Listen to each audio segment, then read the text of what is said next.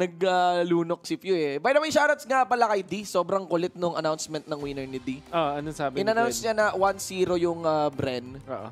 In-announce niya na 1-0 yung Bren. Tapos yung nasa may Bren side, si Carl G. Oo. Tapos yung 0, yung Signal Ultra. Tapos ang picture, si Pew. oh, di ba? Ayos? Grabe naman. Ayos ba? Shoutouts kay paring D. pero mag magtotropa yan. One of the Ah. close ones. So, Signal Ultra decided, okay, sige, tama na. Ban na natin parehas. And um, they they have the priority pick naman eh. Nasa kanila yung first pick. So okay lang sa kanila to nangyari. I think Brenny Sports eventually baba nila yung Uranus. Signal Ultra, are they gonna be letting the Selena pick out? Kasi alam mo, Nga eh. pag hindi nila binan yung Selena dito, Mm, mm. ang gagawin ng Brenny Sports, ilalabas, ihahaya nating mapick yung Farsa at Selena, paunahan tayo at Ah. tatalunin namin kayo no matter what your Ah, choice is. bubuksan talaga ng Bren yan. Oo. Yan ang sure kasi may isa silang makukuha eh. Dalawa lang eh. Para sa Oo. Selena, pagalingan na lang ng support. Di ba? So, ayan. Um, looking at Signal Ultra, I think they need to ban yung Selena, honestly. Kasi ang at least pag Selena yung binan nila ngayon, yung Brady Sports mag-isip, Uranus or Farsa Ka- ba? oo, Farsa or Khalid, Or- di ba? Oo. Pero yung Khalid kasi, oh, first ban na Ay, sorry, sorry. Oh, yeah, yeah. Forgot about the Khalid. Ah, Yep. Ayun, Uranus Farsa. Mm. So, uh, oh, cho- ay, I like it. Ang talino actually. Kasi isa to sa mga flex picks ng Brady Sports. Mas na okay na yan. Oo. Yep. It's actually Targeted good. pa rin. And Target it pa opens up a lot of things. Tama dyan. So, Bremy Sports, ano ang ating gagawin? Uh, Uranus, straight up, Farsa or Selena, Signal Ultra, you know what? Battle of Supports. Ito Man. na yun. Ito na yung hinahanap natin. Eh, This is the Imba DJ Ay! View lineup. Yak! Imba, Imba DJ Farsa. Lista nyo na. Lista nyo na. Lista nyo na Pero, para ano. ibi- para Selena ni Few? Oo, ultimate picks. Sige na, ibig, Bigay nyo na. kung Yan baga, si, kung naglaban na yung mga malulupit na Hokage, pinagsusano mo na, tsaka pinag, kung ano man, basta, mm. Binayaan mo nang mag-spirit bomb si Goku laban Kumbaga, sa ano, Dragon. Nakuha na nung laban ni Pacquiao at Floyd Mayweather yung mga boxing gloves nila. O Oo. si Floyd yung mamahaling boxing gloves. Si Oo. Pacquiao Clito Reyes Oo. na, na boxing gloves, di ba?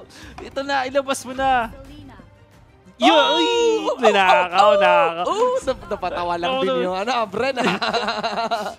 Okay, so Okay. securing the thumbs and I believe, uh, honestly, yung Brent, pwedeng hindi mo na kunin yung Farsa. Kasi Yeah, hindi yeah. naman din ibaba niya. yeah, yeah. Mm.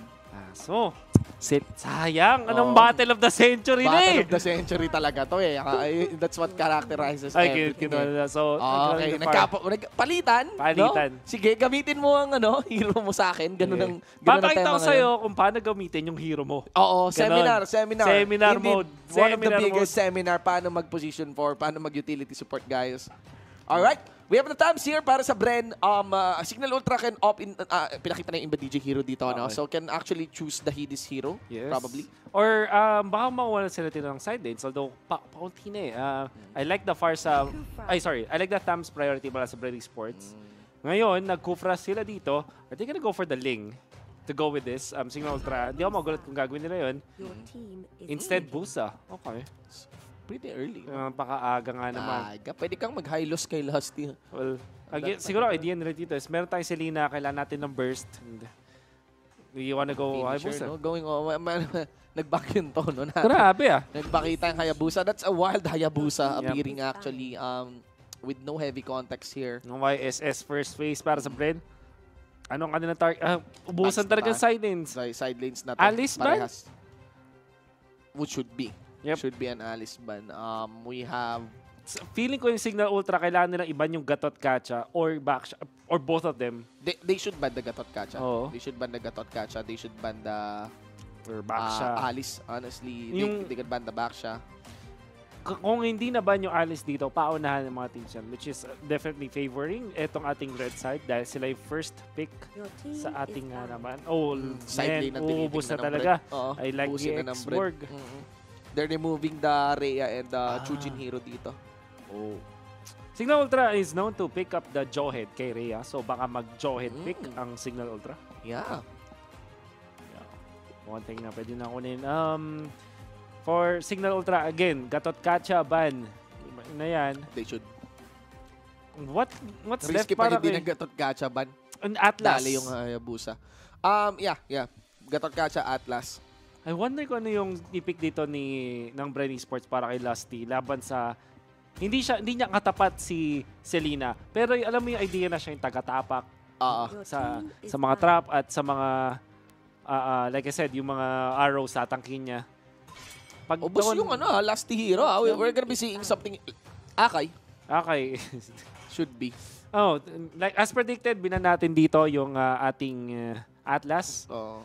Um, so, yung Masha binan ng Bren Esports, again, targeted na naman sa mga side lanes. Oo. Hindi dahil sa side may kailangan, hindi dahil sa specific player, pero dahil sa fact na ubus na yung mga Yeah. side lanes. Yeah. Uh, Signal Ultra. Ah, and th- those two uh, empty slots po sa Signal Ultra, those are clearly Side without lanes. doubt side lanes. Yes. No flex picks here para sa first three picks ng ano, Signal Ultra. Okay, so knowing Signal Ultra, um, I, I honestly feel na either Alice or Gatot Kachaban or Baksha para sa kanila dito kasi ayaw na nilang bigyan.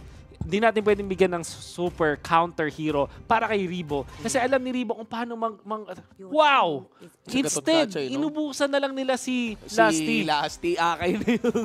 ah, okay ba? Kung ano yung sinabi nating natitira na lang kay Lasty. Oo. Oh. Ay, much better approach kasi yung ibaban nila para kay Ribo ay tatlo, Mm. yung kay Lasty isa lang. So, Alice, na-predict din natin to. Yeah. Ng Brenny Sports. Ngayon, Signal Ultra, what's your answer?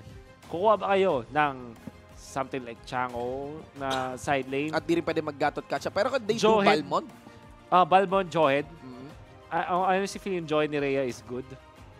Um, should be a Johead. Pa, ang, ang ganda ng kailangan nila ng wave clear eh. Then after, Johead, Chango, honestly, Mm. para sa Bru sa Signal Ultra. Yeah, yeah, yeah. M- Not to target the heroes, but for the wave clear lang For the talaga. wave clear, Yeah. literally. Kasi yun yung kulang sa kanila. And uh, for Bren Esports, uh, uh, ano pa ba mga pwede pick nila, Steve? Babalik tayo sa Grak. Parang Why not, pre? Lolit. Kung nag-Django yan, pwede mag-Lolita. Oo. That could So be they one go option. back siya, Johead. Okay, as Mhm. expected, Johead para kay Rhea. Okay.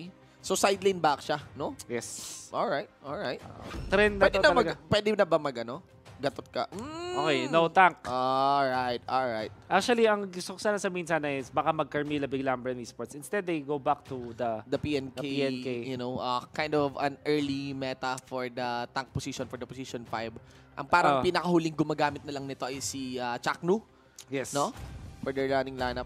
Pero Medyo kung- matagal na rin ano, hindi to ginawa ni Lasty sa Yeah. totoo lang. That's why we've been scouting over like uh, old tanks na tulad nila Lolita, nila Oo. nila Grak. Kung- Pero kung hindi talaga naban yung Akay, pili yung Akay na yan. Oo. Mm-mm. Men, kung, kung um, ang mga God mode na Popol and Kupa support players ay kakayanin na tangkihin ang pana at ang mga traps.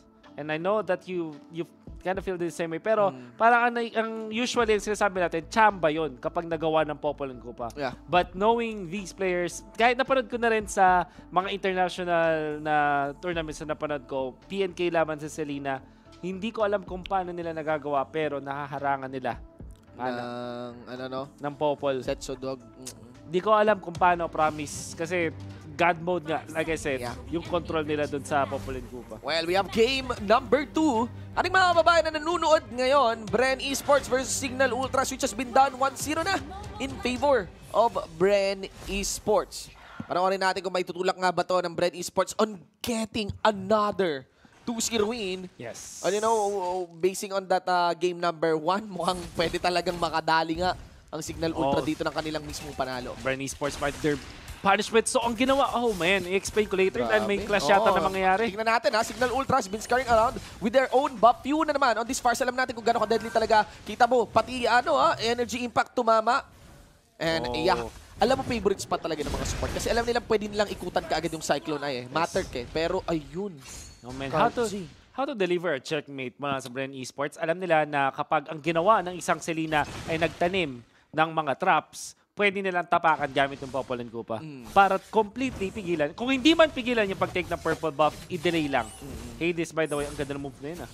Alisin mo lang yung ano eh, yung trap sa harap ng purple buff eh, Oo, di ba? And delay na. Delay. Eh, kung be- best case scenario is manakaw mo yung purple, pero yung fact na na-delay mo, okay na yun. Kasi, alam mo yung delay na nangyari na yun, it allowed the kill wala kay Flap TZ at kay Carl TZ sa pag-invade nila ng red Oo. na kinukuha ni Chujin. Alam mo tol, hindi naman sa ano, pero nagulat lang ako na inisip yata ni Hades, tatapatan niya ng Hayabusa yung si Carl Z, Oo. no? Parang, parang yung ano lang tinto eh, yung Lancelot ni Hate Mm. nung kalaban niya si H2, ganun. It's like. Again, ah, parang risky talaga eh. Oo. Parang, classic Pinoy mentality na kapag nagkaroon ng duelo, this is uh, from other MOBAs, bibigay ko yung best hero ng kalaban, tapos pantatalo ko yung best hero ko. Oo. Pagalingan Parang na lang. Pagalingan na lang eh, no? Pero yun nga eh, magaling kasi nga eh, kaya nga may Kaya rankings nga eh. eh. Kaya nga, may- kaya nga kinikilala si Carl on this position. Grabe re-engage. And makikita mo yung ano ulit dito, objective take ni Carl. Meanwhile, other lanes are suffering. Flapsy here, will be dive on by Chujin. Well done mula dito sa gank ng Signal Ultra. Ah. Naging result nga lang is kapag natalo mo yung kalaban mo ng best hero niya, gamit best hero mo, syempre nasa iyo yung angas. Ay, oo. oo. Aba Carl TZ going for a very standard hero now using itong kanyang ultimate and I guess this will be a complete push. No stopping this unless Hades goes God mode. Okay, napakaganda naman. Um, gan- alam din Okay. ni, alam din ni Hades eh. Pag may lumipad ng ano dun eh, Oo. Pew, inaantay na lang ni Pew talaga mawala yung Ogi Shadow. Kaya ang problema dito, Hades may have no combat abilities para i-contest itong buff. Kaya ang timing dito ng Bren, napaka-solid. Kita mo tumahan at ang lalim pa rin. Actually, ang hapdi pala ng Bren para kay Ben Sanity. What? Goes for Rhea, flickers in, smart missiles, masasakay pa ba? Hindi na makakaligtas dito si Paring Few. Pero kita mo na si Carlsi doon, tatrabahuin si Rhea. Habol, KO ginawa doon sa Joehead naman. Aim ba DJ Pana. to the side, pumana, tumama. Doon naman si Chujin para makayakap sa mga membro ng Bren Esports. 2 for Oh, 1. Cartesi. May habol pa ba? Cartesi Ooh. sa Spaghetti. Pero the kill is not completed. Aim ba DJ was able to survive. Hades was able to get a kill. And, and ayun ang bawi ng Sig. Nag-flicker. So tumatakbo siya kunwari kay Carl TZ. Pero fake lang pala. Head and shoulder fake. So gagawin niya, nag-flicker siya sa muka nung Yisun Shin. Kasi sabi niya, mas kung long range ka, mas lamang ako kung hampasan lang. Tignan mo yung sidestep dito. I, I think Ima DJ showed us a different approach sa Sinina. Ayun no, finake niya na kunwari mag-back siya, tapos nag-flicker sa muka. Sa may Nung- kagat eh, no? may kinagat. May delay pa nga. Actually, nag-auto siya tapos kagat. eh. Oo. Man. May iba, may iba, may May, majinit din. Nagkakaseminaran talaga eh, no? seminar mode. Oo, Farsa and Selena on that play 6-5. Ladies and gentlemen, though the control pa rin talaga. Ang layo lang kay Carlson compared kay Hades. Kasi I think that's the second buff disrupted against Hades here. Oh, Arrow, Arrow kay Few. Salong-salong. Ganda dito. Pasok kay Bed Sanity. Bulls ay ka ngayon. Imba DJ. Anong pakiramdam ng panaing ka ng sarili mong hero? Yon! Tinanong dito ni viewer, Flap TZ gonna be controlled now. Gets Gagawa ko 4, pero madaling makatakas niyan. Tams yan eh. Naka-flicker din ang ating uh, Flap TZ Thams, which is good. Um, sa lahat na nangyari dito, syempre lamang pa rin ang Brain Esports. And kailangan niyang i-respect ng Signal Ultra. Sinatry nila mag-outplay, ta, pumana, tinamaan si Ribo, pero wala pa rin kill. Oo nga eh. Nalilito ako magkamukha si Pew tsaka si. Ribo on the arrow. Akala ko si Pew na naman. Yung nakasalo. Oh, nice. ito, ito hindi pana, pero lame shot. flame shot na lang. Parehas din, same mechanic. At ang maganda dito kay Shin, just like in the previous game, pagalingan mag-email. Oo nga eh. binigyan tayo, tinitlean natin ng El Clasico at yung sinabi dito ng Bren Esports Signal Ultra, sige, bigyan natin yung gusto ng viewers natin. viewers natin. Bakbakan. Bakbakan. Sa totoo lang, this is, uh, again guys, to characterize the team, Bren is Ooh. always controlled with the approach. Dali doon si Rhea mga kaibigan. Kano flop on that advance patungo rin kay uh, Ribo. Meanwhile, nandito rin mga membro ng Bren Esports on the red side Yeah. jungle of Signal. ang ang problema kasi sa ginawa ni Ben Sanity at Rhea, kinalaban nila yung dalawang mga ano, mga matatanda, mga veterano. Si Last at Ribo, tinry nilang i-duelo ng dalawa sila noon. Oo nga eh. Nautakan nga. sila eh. True challenge nga kasi, di ba? Parang gusto mo talagang ma-test yung strength mo. Oo. Well, ang ganda ng huli dot di na nakatakas din si Paring Few. Pero look at the objectives Nako. that was taken in. This is the power of a captain on the utility support. Kahit That's right. mapatay mo yung utility support, if he got your attention, kontrolado niya rin yung teammates niya eh. Captain nga eh. Sinat call na yon, di ba? Nakunin yung mid. At turtle Nung conversion. tinamaan siya ng bana, alam na niya yung mangyari. O, guys, wag nyo na akong ligtas, Push mag-push niya kayo. na. Ganun lang. And that's what separates yung mga magagandang shot, magagaling na shot callers from just normal ones. And we can see the few with three deaths. Hindi mo sasabihin, ay feeder. No, not at all. Not at all. This is so tactical. Yeah. Approach ni Kuya Few at nandito. Oh, grabe, parehas pa sila ng itsura. And, oo nga, yun nga, kaya nakakalito pag tinama, kanina tinamaan ng araw si Ribo, I was thinking it was of you. Oo. I also wanna mention din, Tol, na in terms of late game scaling, Mhm. Bren, Nasa brand pa rin. Bren eh. yung late game scaling pag uh, sinilip natin. Kahit Ah. sabihin natin na assassin si Hades dito and can dive on towards the YSS, Naku po, flap easy. Naku po. That is gonna be the flicker out. No, siguro yung pinag-debates lamang ni Black PC dito. Good greeting on the Curse of Crow. Down for defended airstrike. Pero a clip towards Iribo was done in by Hades at least. So we got a one for one trade on the side lanes. Ang problema nga lang dito, mas maganda pa rin yung nakuha ng Bren kasi makakapag-push sila sa top lane. No? Yeah. It didn't matter kung nakakuha ng kill o hindi ang Bren Esports sa top. Ang mahalaga yung Tore na nakuha nila afterwards. So, Core lang. 7 minutes in, 5 turrets down, wala pa napapatumba ang Signal Ultra. Kaya naman, ang laki ng lamang na ngayon ng Bren. Indeed. And uh, yeah, siguro ito nga yung sinabi laban lang. Siguro talagang ganito ka-confident din yung Bren. Because I cannot but feel that this is a bit of a more aggressive na larong ating natutungan ngayon. Charge sa may pinakagitna. That was good. Huli sa ni Hades ngayon. Pasok si Flaxy doon. Yes, counter at Inferno bilang pambawi dito. Simahan pa ng aso. Ngumatgat sa mga membro ng Signal Ultra. Chujin might be na focus in. We are angry as well. Down for Ben Sanity. Habang si Hades di alam kung paano papasok.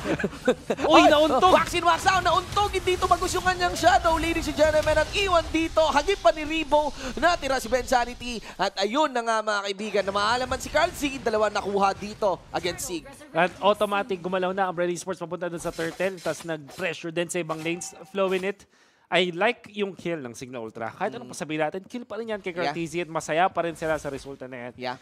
And- Macro nga lang, din sila medyo nadadali. And feeling ko, ano na to eh, medyo may pagkaka-conclusive na to between the two cores talaga eh, no? Na mukhang ah, marami pang experience ang kailangan maranasan ni Hades siguro muna, No, no? I Ah, to really go to toe to toe, toe to toe with uh, the likes of ano. Ang gusto ko lang nangyari dito para Signal Ultra is hinayaan ni, kung sino man si, si coach, sabi niya, sabi ni Hades, coach, best team ang katapat natin, bigay mo sa akin yung best hero ko. Best pick na lang siguro. And less sabi natin sa link, pero masasabi ko itong performance niya sa Hayabusa, parang may ano eh, alam mo yung kita mo kapag yung isang player ay nilalaro niya yung favorite Yes, hero niya. yes, yes. Iba yung galaw Oo. at kitang-kita natin niya kay Hades. Oo. Kailangan niya lang kumalma, kumalma Licious kasi kanina Oo. talaga that was a massive uh, fail on not having your shadow. Nagdadash bang siya? Nagdadash ang shadow, di ba? Tumatagos sa pader. Dapat, eh, kaso na, Oo. gilid na gilid din. So, nauntog. siguro eh. O, na yung Torgs talaga. Well, kita natin dito. Ang hirap, ma- ang hirap, yun yung isang bagay na mahirap masterin sa ML. Sa, yung mga untog, Oo. minsan. Oo, oo. Minsan Anong kasi- angle? Ah, nakadepende sa angle eh. Pero Oo. ayun nga eh. Kailangan mo ma-memorize. Kailangan mo ma-practice, di ba? Which will take some time. Ito natin ang nakaw dito ng mga members ng Bren Esports sa Purple Buff sa sabay pag-push sa may bottom. Kita mo, sobrang fluid ng maneuver ng Bren Esports. Yeah. Going dun sa mid, kuha ng purple, tapos connect kay Flap TZ dito sa baba. Beautiful. Yeah. Um, ganda ba? Pero feeling nga talaga, ano din, ah, ito yung usual ka nangyayari kapag isang veteran team against like a new team. Ito rin nangyari sa Aura at NXP. Game 1 is quite close. Game 2, medyo may impact pa yung game ko na pagkatalo. Oo. Pero tingnan natin ha, sabi natin hindi tamaan ng tank. Pero kita mo naman na natutunan na kaagad dyan. Yung shell ng Baksha kay Chujin tinamaan ng ano, ah, Uy. parang may tumama, ah, arrow. Hindi, hindi, may tumama kay Chujin na kapag-stun, pero it doesn't matter. There's gonna be Carl Z, tinamaan ng traps, it doesn't matter as well kasi merong zone out na ginawa yung Feathered Airstrike ngayon ni Few. Oh, ganda ng ginawa ni Benzana. Din really taking care of his core si Chuji na them safe. Ang problema ko lang dito sa Signal Ultra is yung kita-kita yung difference ng impact ni Chujin on this Baksha compared to what Rivo did in the previous game. Iba eh. Iba. Iba, iba talaga. eh. Iba. I think si Chujin dito Actually, medyo napilitan yata na sige pre mag para sa backsha ka muna. yeah, sa Alice kasi si Ribo even on the sidelines mainit na eh, 'di ba? And siguro just capitalizing and riding on the lead. Uh, I mean, he knows he can actually lead his team forward, no? Nice bait there by Ben Sanity. He went for the flicker, he went for the jump. Mukhang mahabol pa rin. We are angry. That's it, ladies and gentlemen. Pinunit lahat ng benda sa katawan ng Kufra dito. And of course, makikita mo na wala na rin yung Hades as he falls back on the squad shadow. Chujin onto the side. Immortality yata yung napapaka-revive. Paalam pa rin. Card si dito Oh, nag-flicker no. diin. Huli ka ninja. And that's it, ladies and gentlemen. What an outplay mula kay Few. If we get the replay of that, makikita nyo kung paano niya tinrap si Hades. Kasi si Hades mo, fake na rin eh. Kumo-crossover na, pero sabi ni Few, isa lang yung pupunta mo. man." No. And we can see that in the replay for sure. So the first is first is the kill on the Kufra. Followed up by, look at Few's positioning. Kailan niya abangan? Si Hades naglalakad, pretting pretty, no marampa. Ayun o, mm, Mm, grabe yung curse of... Ah, nahagip pa rin nga ng Curse of Crow kahit pa paano. No? Di lang Abisado. yata natamaan ng ano, di lang yata natamaan ng stun or baka naka-cooldown pa yata. Pero yung flame shot, yung fact na na flame Oo. shot niya, Bawas tapos agad, yeah. Alam With mo a eh. slow, by the way. Oh, alerto shot. ka agad, alerto ka agad si ah, Few dito. Tama nga yung mga nagka-crossover. Yung ah, minsan nakala mo may points yung Oo. dribble. Actually, ano mo yun, tapikin mo lang sa gitna yun eh. Eh, Laglag Oo. yung bola ng crossover. Exactly.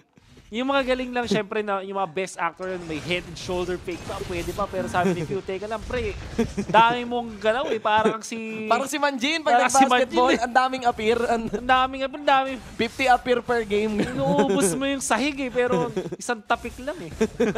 Alright, here's the feathered airstrike. Para maisulba, siguro yung minion may makakuha ng pressure mga member dito ng Bren. Down for the mid. But the target really is the bottom lane inhib. And now they will destroy that. Let's see kung merong mauhuli.